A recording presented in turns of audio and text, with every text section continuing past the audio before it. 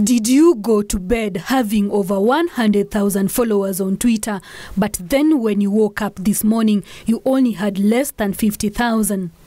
No, your account has not been hacked.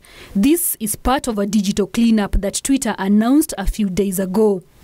Twitter's legal, policy, trust and safety department wrote in a statement, and I quote, over the years, we have locked accounts when we detected sudden changes in account behavior. In these situations, we reach out to the owners of the accounts, and unless they validate the account and reset their passwords, we keep them locked with no ability to log in.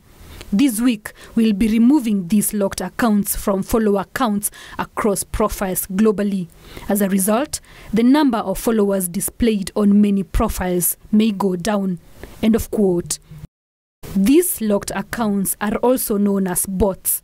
And indeed, this morning, many people woke up to reduced followers on their profiles as Twitter cleaned house. The most affected accounts are those belonging to politicians, celebrities, and social media influencers who lost thousands of followers.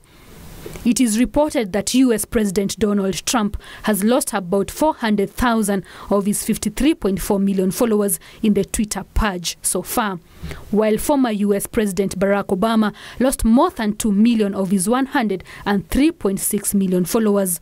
Obama, however, still has the most number of followers compared to any other former or current head of state. Even Twitter CEO Jack Dorsey was not spared either.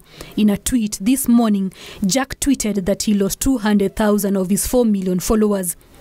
The purge also extended to Twitter's own account, which shed millions of followers. Celebrities like Oprah Winfrey lost 1.4 million followers, while Ellen DeGeneres lost 2 million.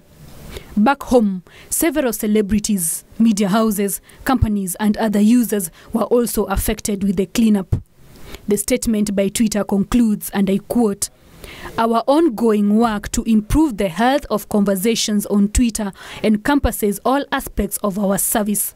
This specific update is focused on followers because it is one of the most visible features on our service and often associated with account credibility. Once an account is locked, it cannot tweet, like, or retweet, and it is not served with advertisements. End of quote. Ruth Mutegi for Channel 1 Business Defined.